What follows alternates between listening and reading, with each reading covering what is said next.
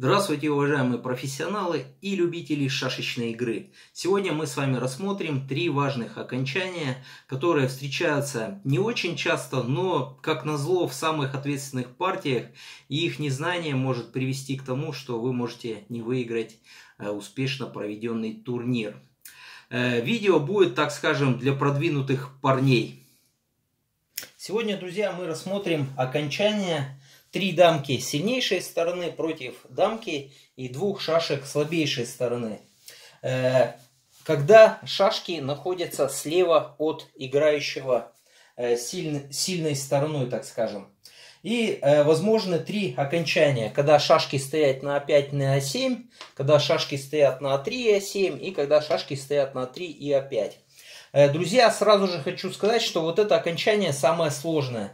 Здесь э, труднее всего победить, поэтому если у вас есть возможность, вот, допустим, в такой позиции сразу же отсекайте шашки от похода на поле, на поля А3 и А5.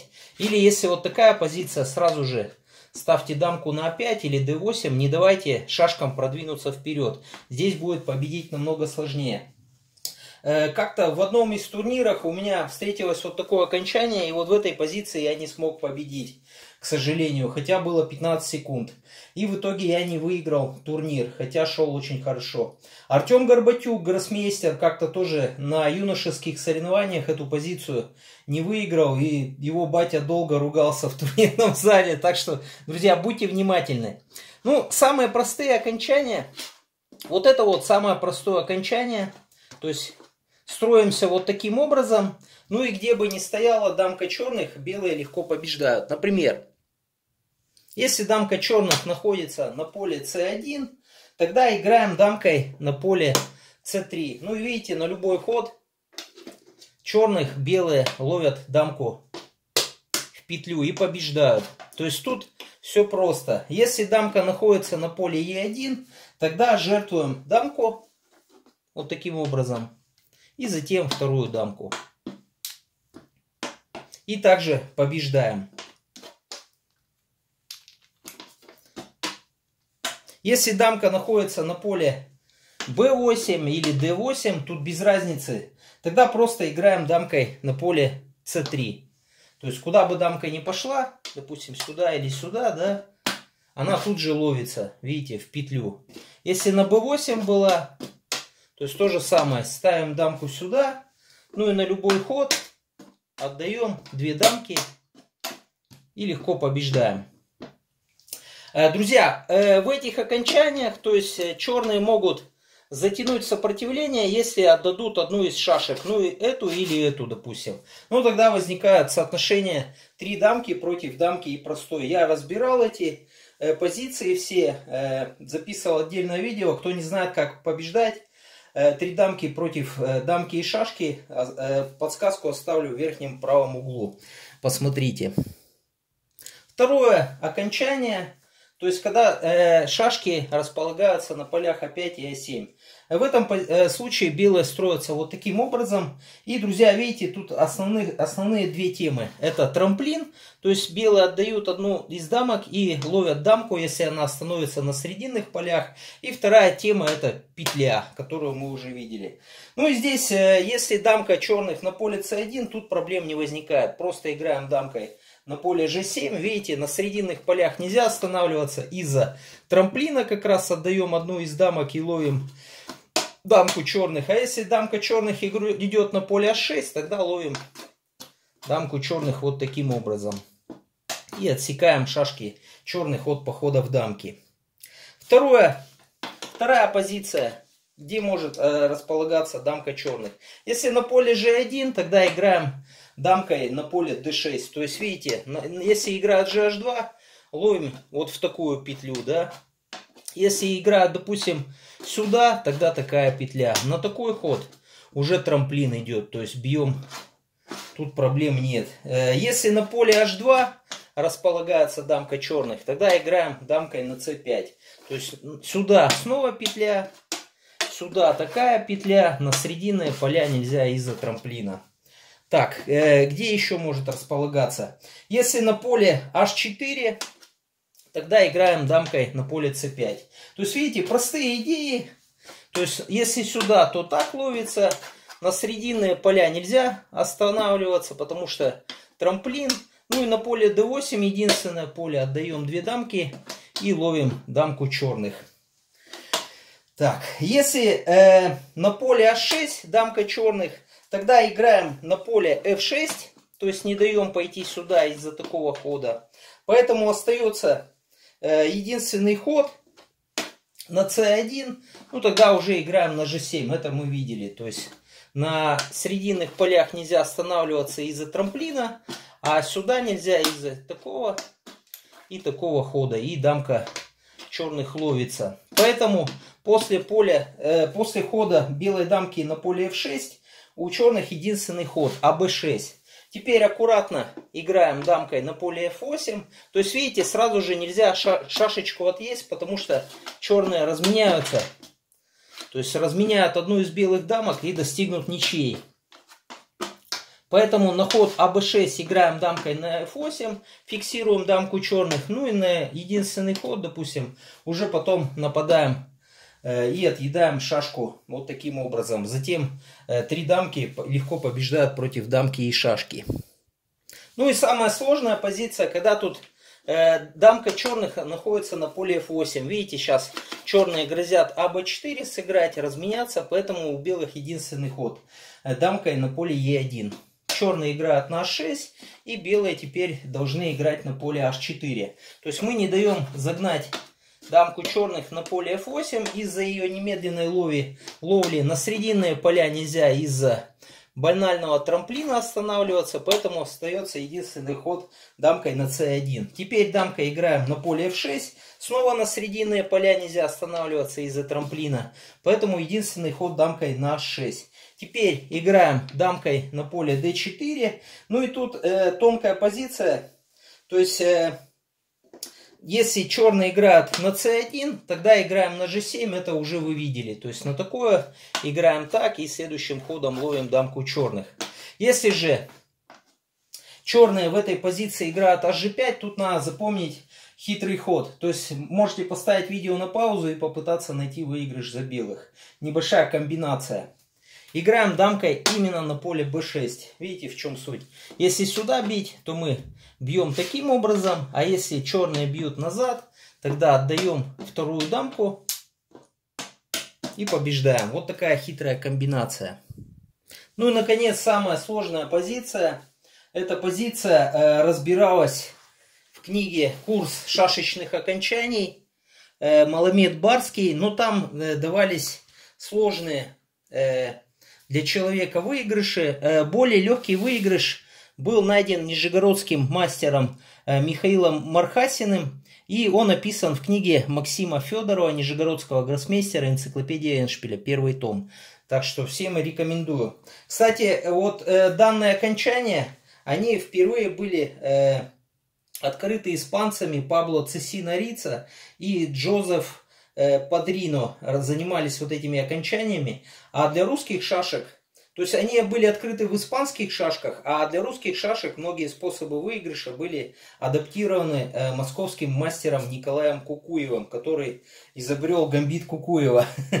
Так что э, рассмотрим окончание, которое э, здесь наиболее простой выигрыш был как раз найден Михаилом Мархасиным в 1997 году. Если дамка черных располагается на поле c1, тут простой выигрыш. Играем дамкой на поле d4 и на любой ход, видите, на срединные поля нельзя останавливаться, потому что трамплин идет и дамка черных погибает. А если на поле а6, тогда дамка черных попадает в петлю